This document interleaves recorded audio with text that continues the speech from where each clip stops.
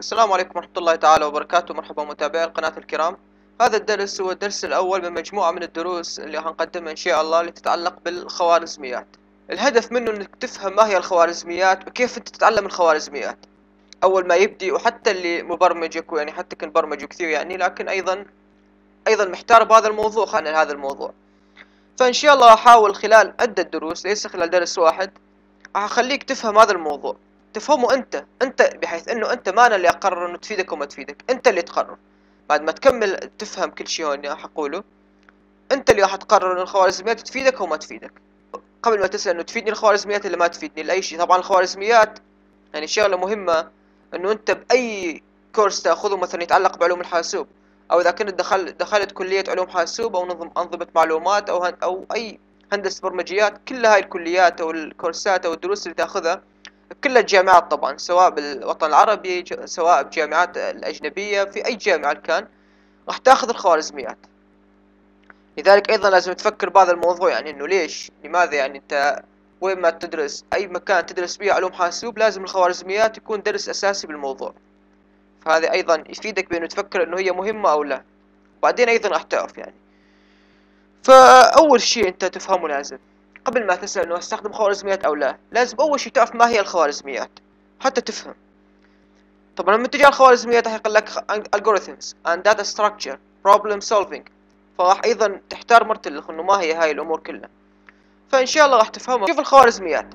الخوارزميات algorithms وهي إجراءات خطوة بخطوة. ركز معي بالتعريف. وهي إجراءات خطوة بخطوة لحل مشكلة معينة وتكون مستقلة عن اللغات البرمجية. ولها بداية ونهاية ولها مخرجات معينة. طبعا انت إذا قريت راح تلقى عدة تعريف ليس فقط هذا التعريف لكن هذا التعريف هو الاساسي يعني اللي يوضح لك هي بصورة حقيقية يعني. هي عبارة عن هي ما لا تفكر بأي شيء آخر لا تفكر باللغات البرمجية اللي تكتبها بها أو أي شيء أو المخططات لا تفكر بأي شيء. فكر بالخوارزميات بالذات نفسها algorithms ما هي؟ إجراءات خطوة بخطوة. خطوات عبارة عن إجراءات تعملها على شكل خطوات. خطوة خطوة. واحد اثنين ثلاثة. أشنو الهدف منه؟ الهدف منه حل مشكلة معينة. عندك مشكلة تريد تحلها. وتكون مستقلة عن اللغات البرمجية. طبعا حتى هذه يعني ما شرط إنه. لكن تكون مستقلة عن اللغات البرمجية ليش؟ هاي خلينا نحكي إحنا في علوم الحاسوب هنا. يعني الخوارزميات ليس فقط تستخدم بعلوم الحاسوب يعني.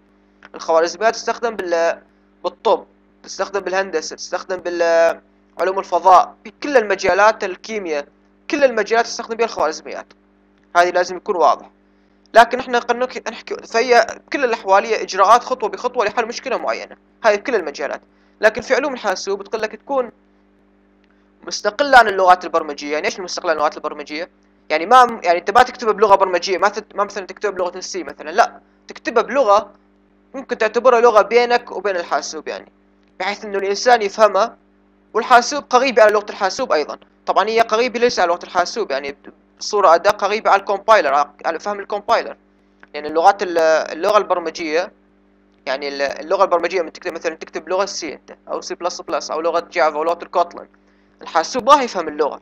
يعني هذه اللغة لغة ال Java مثلا أو ال Kotlin الحاسوب ما يفهمها الحاسوب يفهم شيئين فقط اللي هو ال binary code الصفر والواحد ما يفهموا أي شيء. فلذلك أنت لما تكتب بلغة ال Java ولغة ال Kotlin أنت قد فهم ليس الحاسوب قد فهم ال compiler اللي هو مترجم مترجم بس انت لما تتكلم مع واحد باللغة الانجليزيه واحد مثلا يعرف الإنجليزية فقط. أنت لما تتكلم معه باللغة العربية وما حيفهم هو. لازم أكو بيناتكم وسيط اللي هو مترجم يترجم أنت تحكي تتكلم باللغة العربية يحولوا الانجليزيه ويفهموا إياه وبالعكس إلى آخره. فنفس الشيء أنت لما تتكلم مع الحاسوب تتكلم بلغة وسيطة بيناتكم تحتاج إلى مترجم يترجمها. تتكلم معاه مثلا بلغة ال Java. اكو ال compiler يحول لغة ال Java إلى ال binary إلى الصفر والواحد حتى الحاسوب يفهمه. هذه الطريقة لغة ال C أيضا نفس الحالة يعني. تتكلم معاه أنت بلغة ال C الحاسوب ما يفهمه. ال compiler يترجم له إياه إلى الصفر والواحد حتى يفهم الحاسوب. فهي لازم تكون واضحة. فالخوارزميات هي هي مرحلة قبل هذه الأمور يعني. يعني هي أصلا حتى ما وصلت مرحلة اللغة البرمجية. يعني اللغة البرمجية الحاسوب ما يفهمها الخوارزميات حتى ال compiler ما يفهمها أتمنى هاي تكون واضحة الفكرة يعني. يعني خوارزميات ال compiler أيضا ما يفهم إذا كتبت الخوارزمية أنت بأي لغة كان كتبت الخوارزمية بال compile بأي بيئة ال compiler ما يفهمها لازم تحولها لغة برمجية من اللغات حتى ال compiler يفهمها وبالتالي ال compiler يفهم الحاسوب هذا أمر مهم جدا. فإذا الخوارزميات ممكن تكتبها فالخوارزميات ممكن تكتبها أنت باللغة العربية. ممكن تكتبها أنت باللغة الإنجليزية. ممكن ترسمها على شكل مخطط. أي شيء ممكن تعمله. المهم هي إجراءات خطوة بخطوة لحل مشكلة معينة. راح تقول لي ما هي المشكلة المعينة يعني. أنا أنا وين عندي مشكلة ده حلها شوف عندك أنت بال لما تعمل برنامج. هتقول أنا أريد أعمل برنامج مثلا. مثلا نظام إدخال يعني مثلا إدخال رقمين واطلع الناتج ماله من العدد مجموعة مثلا. الضرب والطرح أو مجموعة من الجمع مثلا. فأنت هون هاي مشكلة هاي تعتبر. أنت راح تعتبرها برنامج لكن هي مشكلة أيضا. أنت تريد تريد عندك بر... تريد تريد تحل مشكلة معينة إنك تدخل رقمين أو المستخدم يدخل رقمين ويطلع له ناتج ناتج الجمع ماله. فهذه مشكلة. فأنت شنو تحلها؟ تحلها ممكن عن طريق الخوارزميات إذا أنت مثلا ما كنت تعرف لغة ولا لغة برمجية مثلا. ممكن تكتب أنت عندك باللغة العربية مثلا حتى المترجم حتى المبرمج يحول لك إلى إلى إلى برنامج مثلا. ممكن تذكر له خطوات أنت مثلا.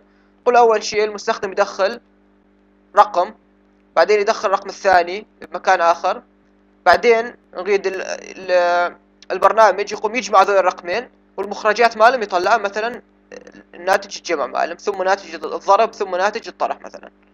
فهذه خوارزمية أنت عملتها على شكل خطوات. ممكن تعملها على شكل مخطط مثلا. تخلي مخطط مثلا مربع المستخدم تدخل بينه رقمين مثلا.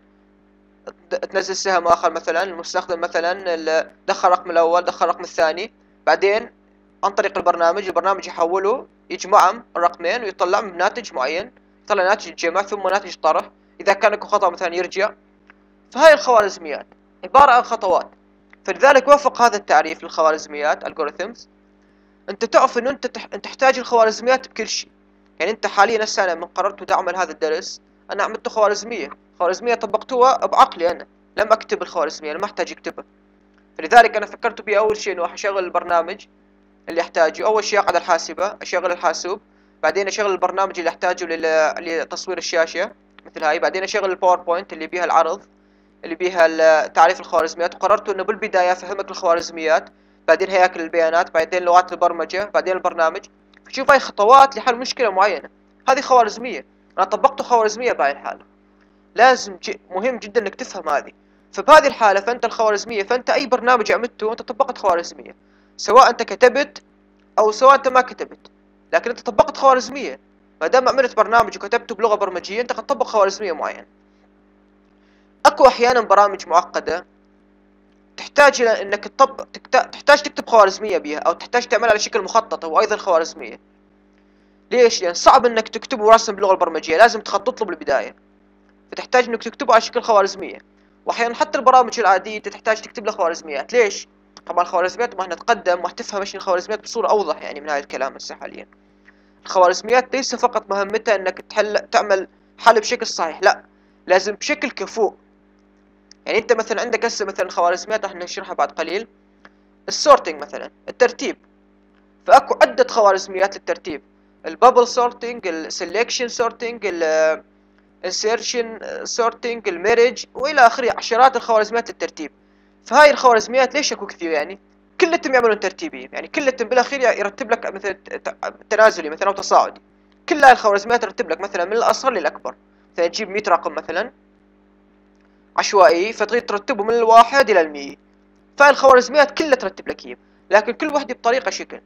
فالخوارزمية مثلا ال يعني كلها نشرحها وحدة وحدة مثلا البابل تقارن بين اثنين مثلا ال وهكذا يعني. أكو تقسمها نصين وتوديها فأكو خوارزميات سريعة جدا. ممكن تحل لك هي مثل الميرج خوارزمية جدا سريعة لكن تأخذ مساحة من الذاكرة أكثر. البابل بطيئة جدا لكن مساحة ما تأخذ مساحة كثير من الذاكرة وهكذا من الخوارزميات البقية. فلذلك لازم تكون كفوءة يعني أنت عندك عدة خوارزميات يعني تحل مشكلة. إذا كانت مشكلة مهمة عندك فتكتب عدة خوارزميات. ليس فقط خوارزمية واحدة وأكو طريقة اللي هي big O notation مثلا تقارن بين الخوارزميات إما الأفضل من ناحية السرعة من ناحية الأخذ مساحة أخذ مساحة بالذاكرة إلى آخره من الأمور لذلك الخوارزميات جدا مهمة. إن انت تحتاج الخوارزميات بالبرنامج مالك ضروري طبعا غير ضروري. أي واحد يقول لك ضروري؟ لا هو غير ضروري. أنت حاليا لما تعمل برامج غير ضروري إنك تعرف الخوارزميات كلها. لكن لازم تفكر بالفرق بين الخوارزميات. يعني أكو خوارزميات اللي قاعد نشرحها حاليا هي إجراءات خطوة بخطوة فهي ضرورية بكل مكان أنت تعملها بدون ما تكتبها. لكن قصدي إنه حاجة إنك تكتب الخوارزمية هذه مو ضروري. هذا المو ضروري الا كخوارزميات أنت أي ما دام قد تعمل برنامج فأنت قد تحل خوارزمية أنت قد تحل مشكلة. يعني تعمل عدة خطوات لحل مشكلة. لكن إنك تكتبها الخوارزمية حسب إذا احتجت تكتبها اكتبها ما احتجت تكتبها لا تكتبها. طبعا إذا كتبت أفضل إذا كتبت على شكل مخطط أو على شكل أي شيء يعني أفضل. انت طبعا من تعمل برنامج انت ما تحتاج عندك مشكلة وحدة لا طبعا. انت تعمل تطبيق مثلا معقد أو موقع الإنترنت مثلا انت تحتاج عشرات المشاكل تحلها.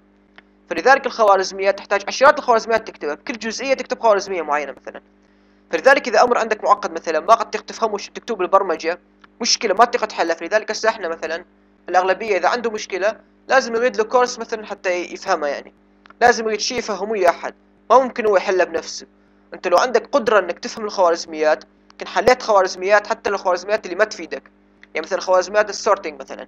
أغلب المبرمجين ما تفيدهم كثير الخوارزميات موجود جاهزة بكل لغات البرمجة عندك سورت. فموجود اغلبها يعني. طبعا أنت ممكن تحتاجه بغير أمور لكن ما الكل يحتاج يعني. لكن إذا فهمته وفهمت أسلوب عمله وطريقة عمله هتخليك عندك قابلية تعطيك القابلية لحل المشاكل. فإذا صادفتك مشكلة أخرى أخرى أنت ما مثلا لقيت شرح عليها مثلا. فهي مشكلة أنت عندك.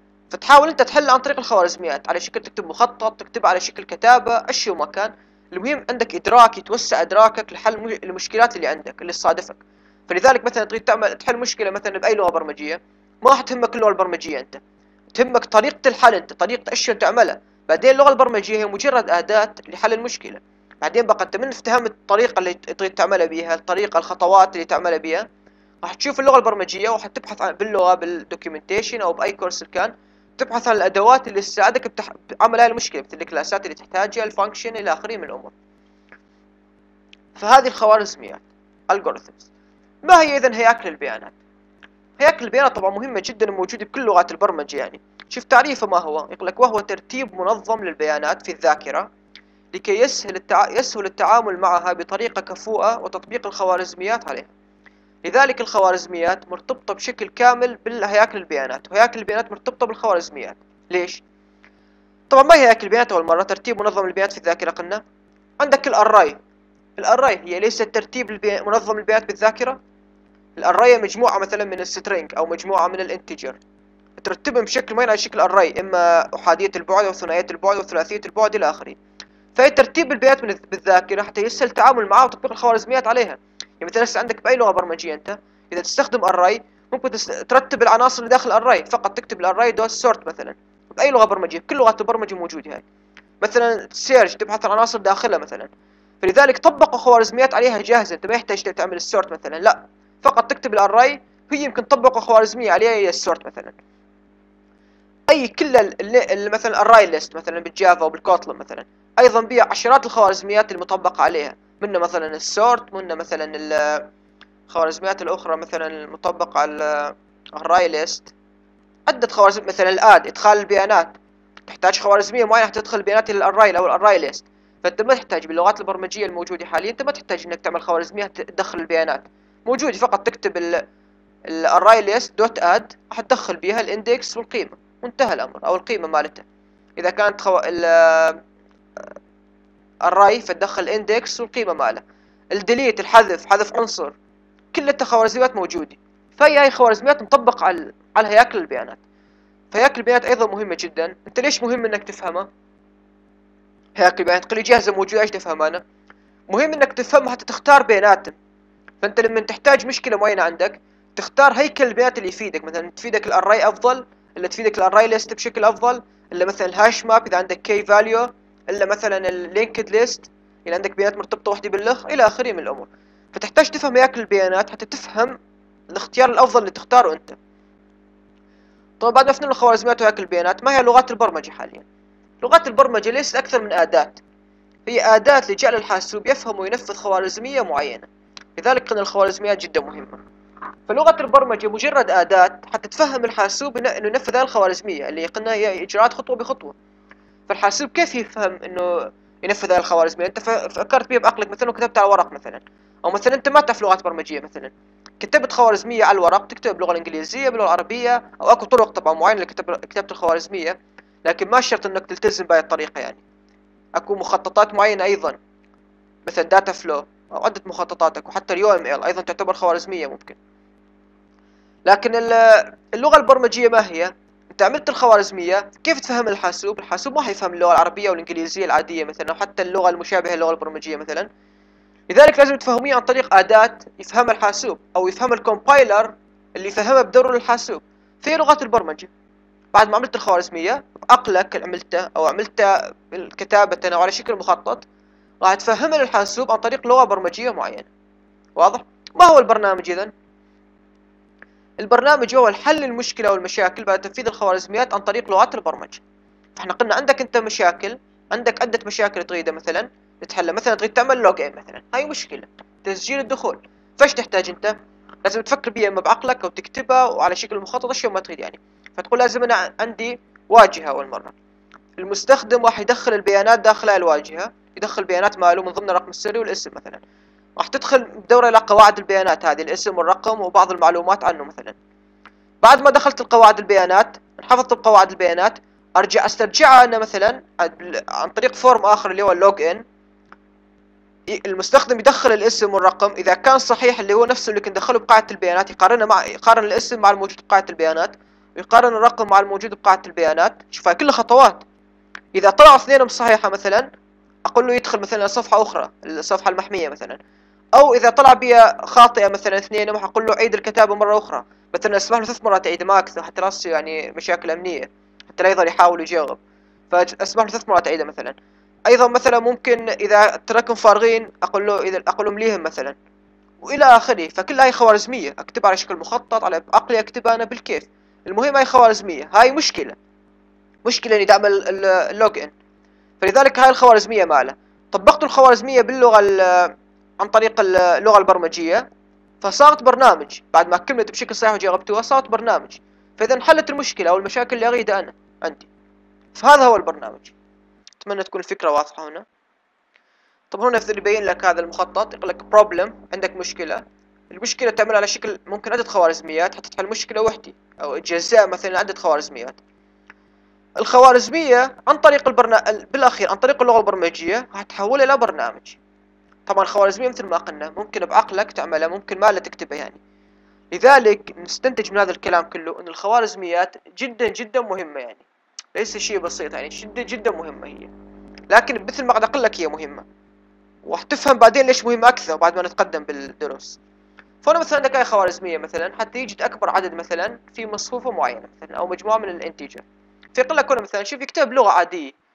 أي في قرن وحدة وحدة. ممكن هاي الخوارزمية أنت تحولها تكتب أي لغة برمجية. أنت تفهمها أن المدخلات هذه مجموعة من ال integer المخرجات يريد ال index مال أكبر وحدة منهم. فراح تجي أنت تعمل متغير مثلا تسمينه إندكس بعدين تعمل جملة الفور تعمل اف وذين أو الاف طبعا هنا ما ذين أنت عندك مثلا هاي بلغة الفيجوال بيسك مثلا اف ذين لكن بلغات أخرى مثلا الجافا والكوتلن لا تعمل لك تعرف أنت.